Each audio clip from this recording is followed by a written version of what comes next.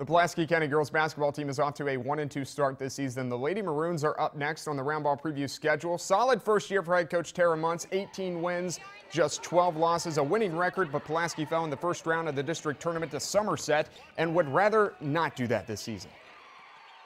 We have our top eight minute holders returning um, with a quality year of varsity experience under their belt.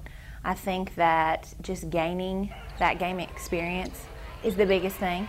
Even though we still have some challenges, we still need to grow, we still need to improve. Um, that's the biggest thing. We do have a year under our belt um, moving forward. Um, I know it was scary first going in, going into it, losing a coach that we had for so long. But Tara definitely taught us a lot of things, and some the things she would always say, I had no idea what she was even talking about. I've been playing since I was in second grade, but she definitely taught us a lot, and I'm happy we had a winning season, but like she said, there's unfinished business, and I'm ready to go out this year and prove everybody wrong. It was it was really big.